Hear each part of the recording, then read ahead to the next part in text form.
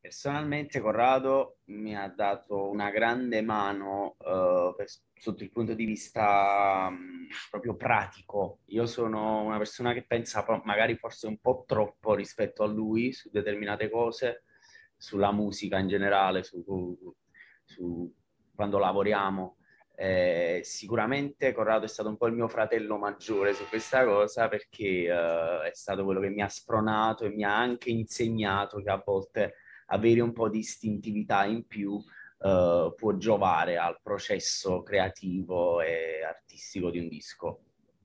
Beh, invece a me al contrario, eh, da, da, lui ho imparato un po' più di eh, ragionamento, eh, ci, ci, siamo spesso fermati magari su una rima, su, su, una melodia, perché lui diceva, no ma vedi che secondo me potrebbe, cioè quindi ci siamo completati perché in realtà la sua insicurezza a volte era giusta e, andava seguita, invece a volte magari la mia istintività era quello che ci voleva, quindi è stato veramente un, dire, un gioco di squadra che ha funzionato per, proprio per queste differenze che però poi in realtà hanno aiutato, ecco, ci hanno arricchito.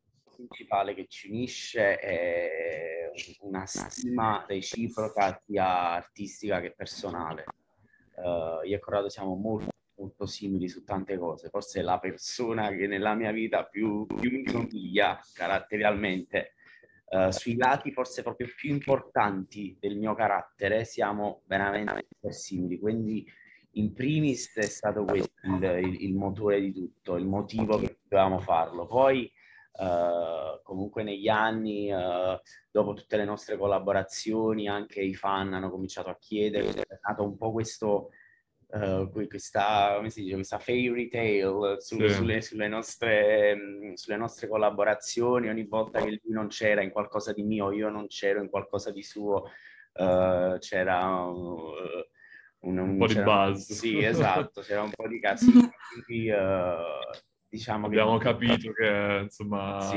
ai fan piace... piacevamo insieme e sì. noi ci trovavamo super bene, quindi abbiamo detto ah perché no.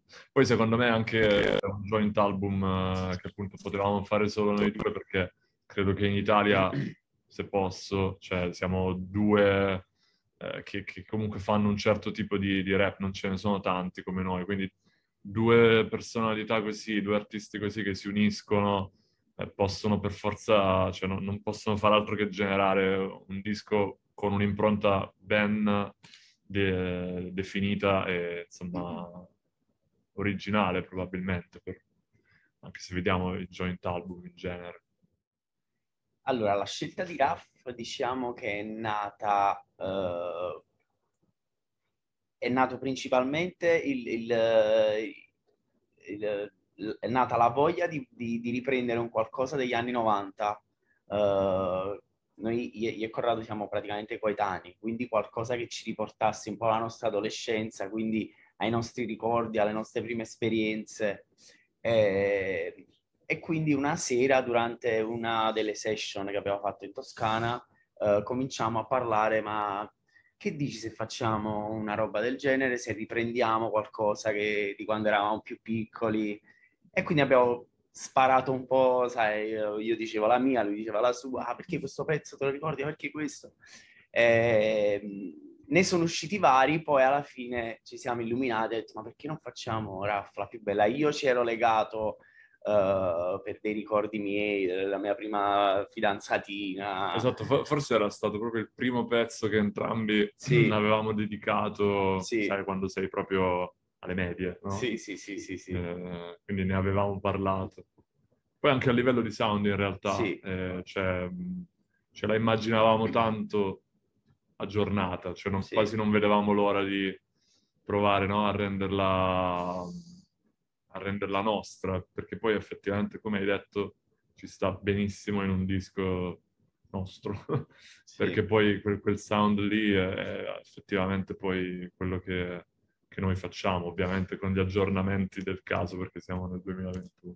Vita normale, sì, è un pezzo secondo me importante perché comunque descrive appieno il, dire, il nostro rapporto conflittuale con uh, la voglia di essere la voglia di essere artisti, ma comunque la, la, la, necessità di rimanere coi piedi per terra, perché fondamentalmente parliamo e scriviamo de, della vita normale, di, di, di, quello che ci succede ed è anche, secondo me, il punto di contatto tra, che, che, ci avvicina tantissimo a, ai nostri fan e alla nostra fan base, che poi si dimostra essere sempre molto attenta e, eh, come dire, che ha sempre voglia di, di scoprire, cioè quasi ci, ci conosce, no? Perché noi ci apriamo tanto nelle canzoni e questa cosa secondo me ci avvicina tanto. Quel pezzo parla proprio di questo e, e secondo me può essere anche visto sotto altre, altri punti di vista, ecco, magari l'essere artista o il voler fare qualcosa di diverso nella vita, dove per diverso si intende magari ecco, un, un lavoro che non sia canonico e quindi però la voglia e la necessità di rimanere attaccati al suolo per stare con la testa sulle spalle. Ma forse è proprio la più bella, quello che mm. mh, mm, eh, non è che ci ha messo in difficoltà, però è quello che eh, abbiamo finito per ultimo, eh, vero, perché vero, all'inizio sì. avevamo solo la prima strofa e il ritornello eh, ci abbiamo messo un po' a trovare il gimmick uh, per la seconda strofa, a trovare la, la, chiave giusta della seconda strofa. Infatti è stato forse l'ultimo pezzo che abbiamo vero, fatto, vero. forse ad agosto.